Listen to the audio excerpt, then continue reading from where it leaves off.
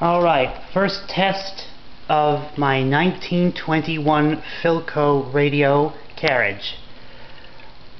It's all cleaned up, so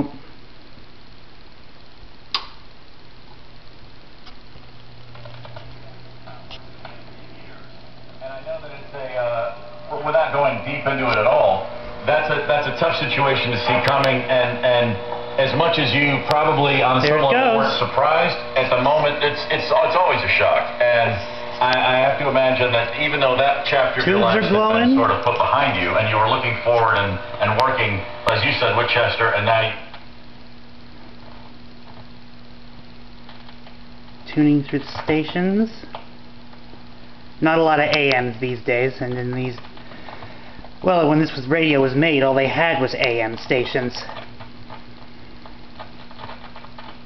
memories were in, in Georgetown.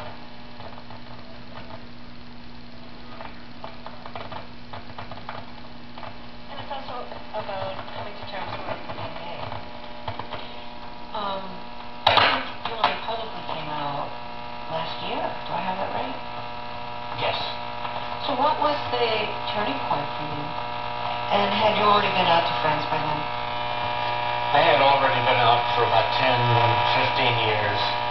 That's definitely volume. Friends and uh, my co-workers.